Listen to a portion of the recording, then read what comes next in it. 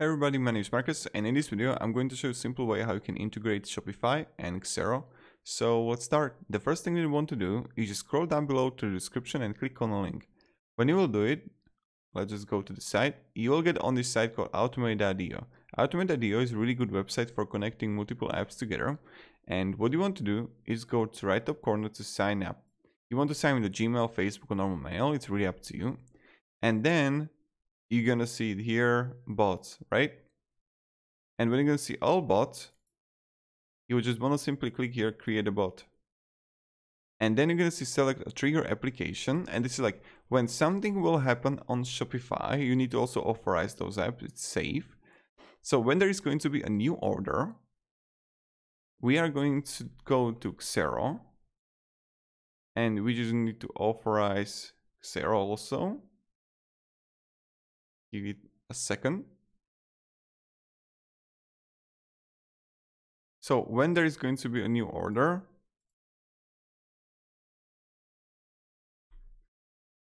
I'll just log into Xero and I will authorize it. Allow access. Save.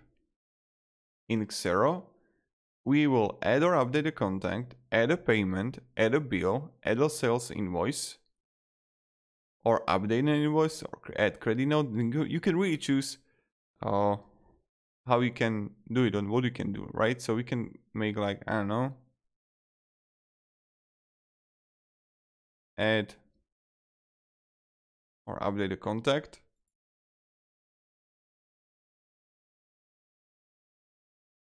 So now we can go with the contact name. And you just like add here plus.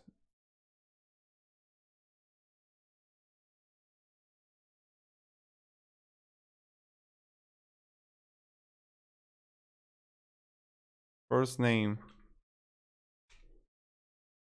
And now we are going to find customer last name or we can go like this and you just fill it like this okay? That's it. And you just need to fill everything. Contact id account number first name also primary person. Or you can like simple add a bill or add a payment or add a sales invoice. You need to also add a code here and you need to set up your Xero so first we are going to do and we are going to go name again we will go to customer. First name. Customer last name. Email address you just add it here. Customer email address or contact email address then you just add here the date the currency the currency url line item code. And this is how you can set it up. So you can really choose which one you actually want and what kind of what do you actually want. So you can go also here and add here new paid order. Let me show you. And then you just like click save and the trigger is on. New paid order. So when there is going to be a new order,